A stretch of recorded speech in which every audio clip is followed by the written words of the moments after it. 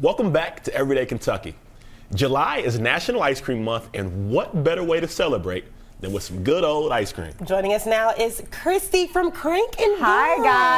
guys. So, uh, Burger Week, you Yes. are also participating in it. We What's your specialty burger? We have a banana split burger that is, we take a North Lime donut, we cut it in half, we serve it up with our banana chocolate ice cream. We've got pineapples and strawberries, a cherry whipped topping.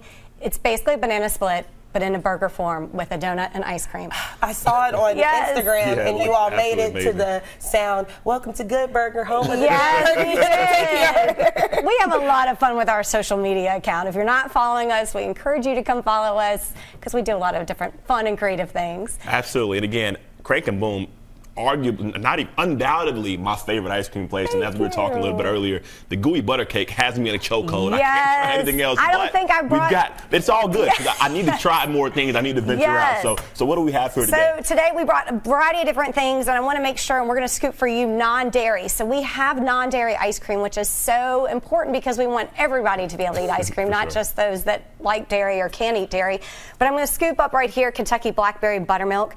We have a variety of flavors, if I can get the lid off, um, that are kind of Kentucky inspired. So if you are looking to celebrate uh, National Ice Cream Month or specifically National Ice Cream Day, which is this Sunday, we encourage you to come out and try some.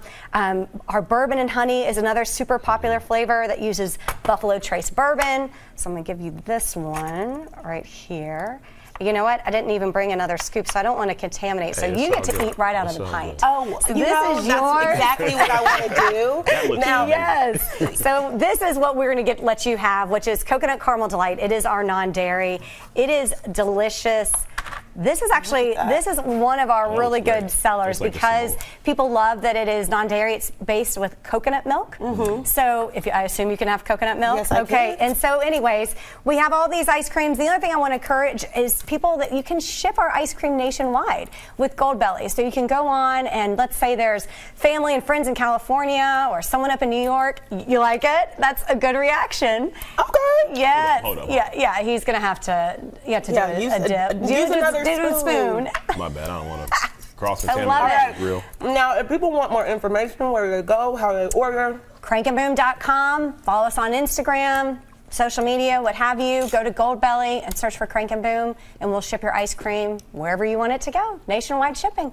I'm so glad you have non-dairy now. Yes, we have lots of non-dairy flavors. They're available at both locations. We have a Claysville location and Manchester over in the Distillery District. All right. Well, thank you so much, Thank Kristy. you guys. And it's always, always great. This is this is absolutely amazing. Perfect. We'll leave this in the kitchen for you guys. All right. The whole staff will be eating it. Absolutely.